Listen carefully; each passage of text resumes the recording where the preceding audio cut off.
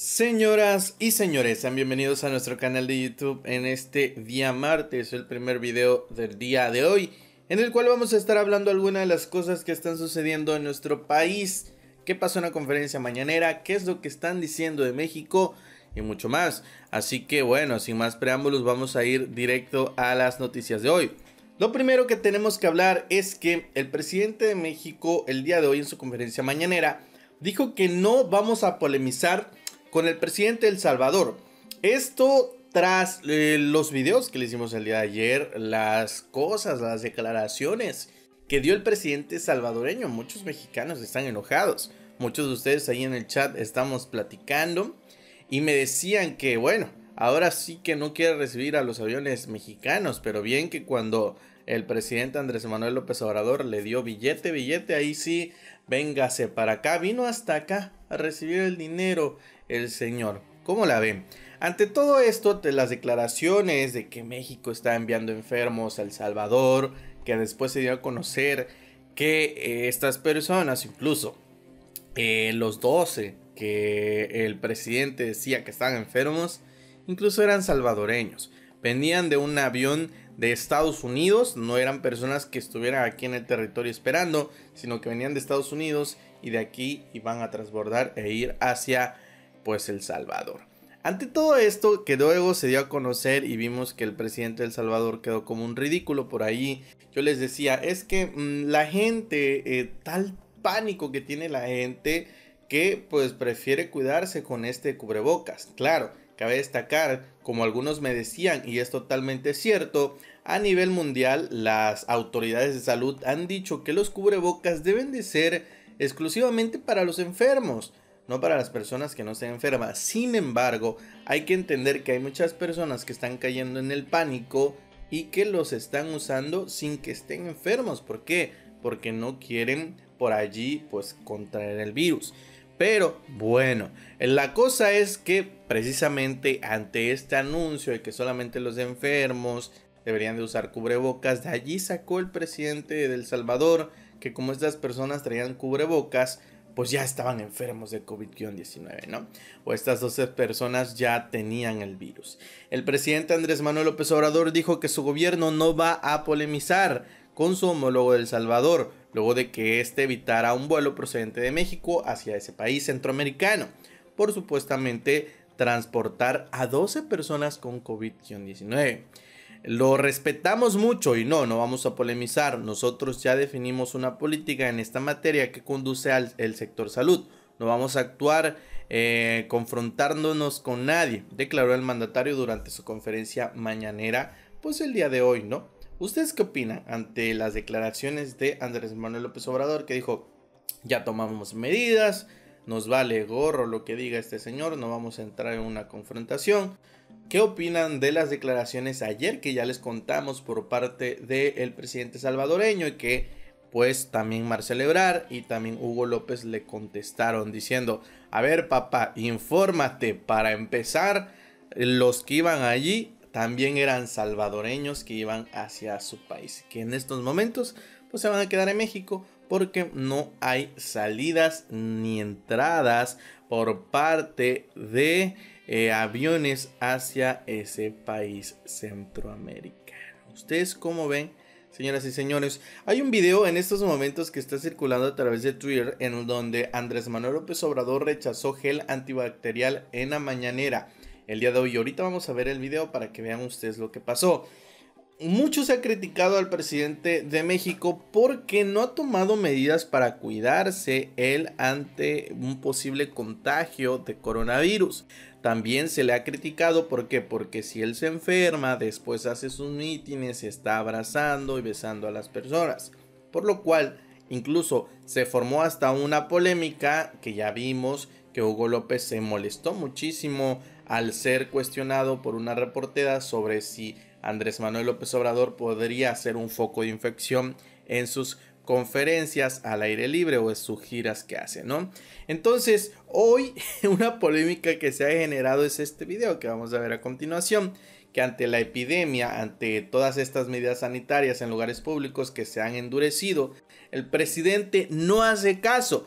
Y algo sí les voy a decir, puede que Andrés Manuel López Obrador tenga este toda la fe de que no se va a enfermar, puede ser y está bien, es su problema, pero debería de dar el ejemplo a los mexicanos, ¿no? En ese sentido sí estoy completamente de acuerdo. Si el su mismo gobierno está impulsando medidas sanitarias y le está diciendo a la gente, miren, deben de cuidarse así, y él no da el ejemplo, si es el primero que no hace caso a las medidas de su gobierno, pues nos está dando un ejemplo de que hay que ser rebeldes y que no hay que seguir las medidas y que nos valga gorro las medidas que su gobierno está pues poniendo, ¿no?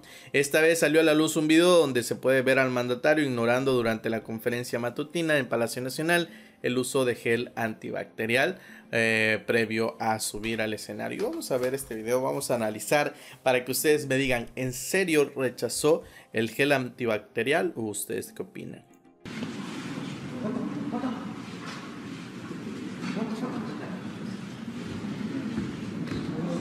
Buenas, buenas. Buenos días. Ánimo. Estamos iniciando la semana.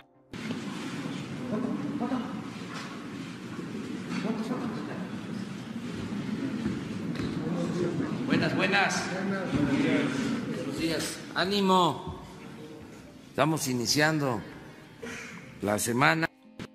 Pues ahí está, ahí claramente se ve como, por ejemplo, aquí Hugo López sí acepta y ahí no.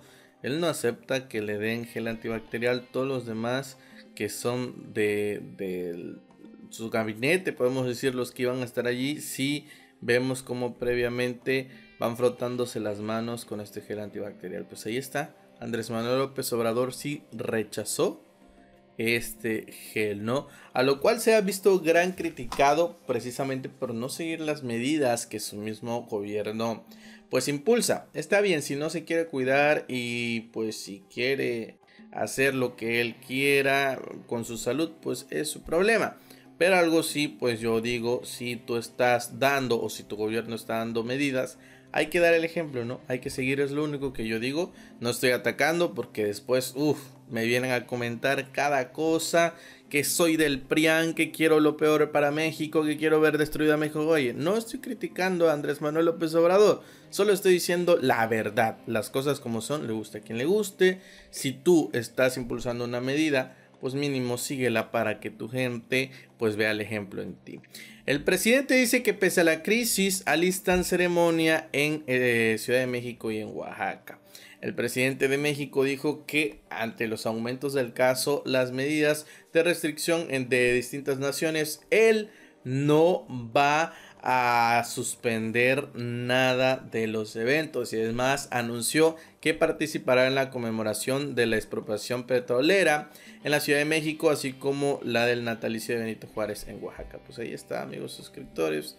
El presidente mexicano no va a cancelar sus eventos. Lo dijo claramente, no voy a cancelar los eventos. Pues bueno, ya es decisión de él. Esperemos que, como ya se los dije en el video de ayer, no tanto porque este señor el presidente de México se enferme y pueda ser un foco de infección para los demás, sino porque dentro de los mítines va mucha gente que podría estar enferma y que podría contagiar a las demás personas que van a los mítines. Pero bueno, ahí se los dejo.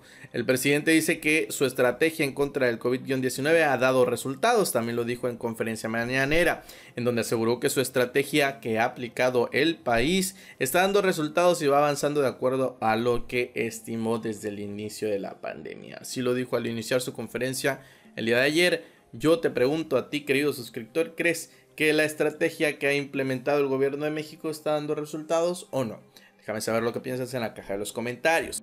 Pronostican que este coronavirus podría durar al menos 12 semanas en México. Esto lo dijo Hugo López, el subsecretario de Previsión y Promoción de Salud, que reiteró durante la conferencia matutina del de, eh, presidente que la pandemia del coronavirus en México no será corta y, y adelantó que cuando menos tendrá una duración de 12 semanas. Así lo dijo amigos suscriptores, pues la experiencia que él ya tiene eh, de China lo da dar estas declaraciones. Desde Palacio Nacional aseguró que tras llegar a un punto máximo la enfermedad comenzó a tener un descenso, o es lo que dijo él en la conferencia mañanera, y aunque declaró que esto no fue necesariamente por las medidas de contención extremas que se tomaron siguen insistiendo en que esta enfermedad da y se quita sola. Así lo están diciendo, pero bueno, ya eh, vamos a dejar que ellos digan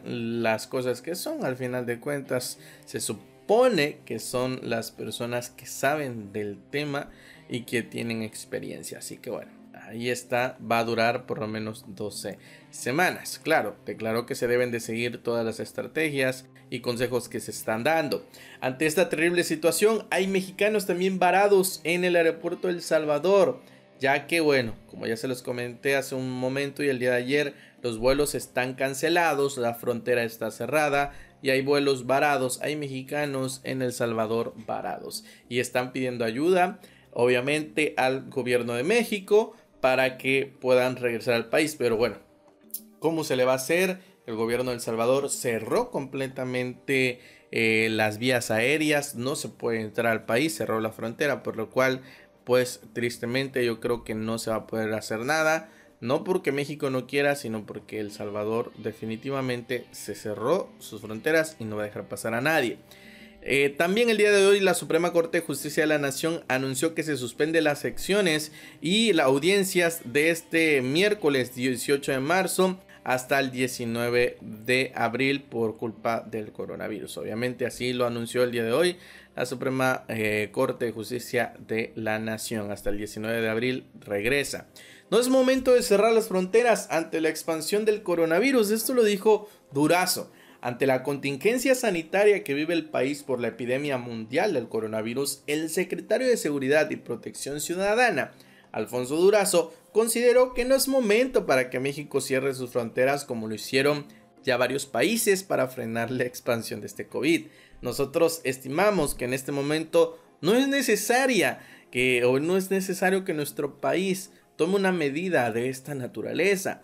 No compartimos la decisión, pero la respetamos en virtud del carácter soberano de otros gobiernos para tomar una medida de esta naturaleza, respondió esta mañana el funcionario al ser cuestionado sobre el cierre de las fronteras anunciado por Guatemala, uno de nuestros vecinos del sur. No es necesario cerrar la frontera. Bueno, ustedes en casita, ¿qué opinan? Todos los países están cerrando sus fronteras para evitar que haya tránsito y que otras personas infectadas puedan entrar o salir e infectar a otras partes del mundo o a otros países, otros ciudadanos y que este virus se siga expandiendo más, que es lo que no quieren que se siga expandiendo. Este señor dice, pues no es necesario, es una medida totalmente eh, tonta, pero bueno. Bueno amigos suscriptores, pues ahí está, en el próximo video vamos a ver otros temas, como por ejemplo Trump propone enviar mil dólares a todos los estadounidenses, lo que dijo la Organización Mundial de la Salud y cómo señalan descuidos de México ante el coronavirus y muchas cosas más. Pero bueno, ya lo veremos en el siguiente video debido a que se nos ha terminado el tiempo. Así que recuerda suscribirte y activar la campana si no lo has hecho. Vamos a seguir hablando de estos temas que te mencioné hace un momento en el siguiente video. Si tú ya eres suscriptor, darle like, ayúdanos a compartir para que YouTube vea que te gusta el contenido y pues ustedes ya saben, dejen de sancionarnos en cada video que subimos. Nos vemos hasta el próximo video.